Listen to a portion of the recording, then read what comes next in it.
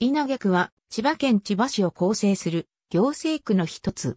文人に愛された別荘地として古くから栄え、西千葉駅周辺は千葉大学をはじめとする高等教育機関が集中している文教都市。千葉市都市計画マスタープランによると、稲毛駅周辺を重要地域拠点、西千葉駅周辺を地域拠点としている。千葉市の北西部にある区で、区域の大半は住宅街。戸建て、集合住宅問わず住宅が密集しており、稲毛区の人口密度は千葉市全体の2倍以上ある。千葉市中心部への通勤者も多いが、東京都の都心から近いために、東京都区部への通勤者が最も多い。JR 総武本線の稲毛駅、西千葉駅周辺や、京成千葉線京成稲毛駅、緑台駅周辺や国道16号周辺を中心に市街地が形成されているほか、千葉大学をはじめとする高等教育機関が集中している文教地区となっている。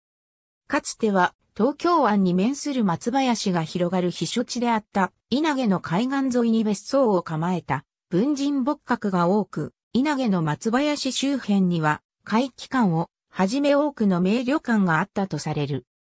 区全体が下宇佐大地上に位置しており、なおかつ海に近いため、大地の縁に多熱電が切れ込んでいて、起伏の多い地形である。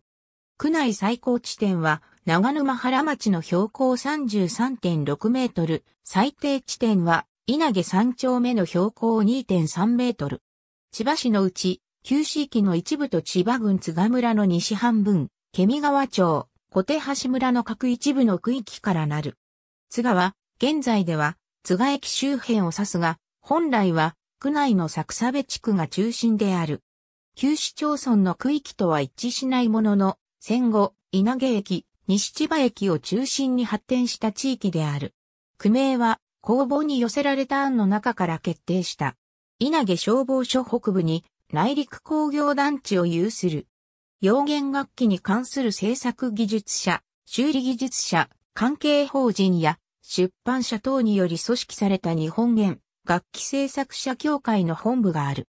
本社、本店を置く企業主な商業施設大規模マンション、千葉県総合スポーツセンター陸上競技場、スポーツ施設交流施設千葉市は、一市で一つの二次医療圏を構成する。三次医療圏は、千葉県医療圏。医療提供施設は特筆性の高いもののみを記載する。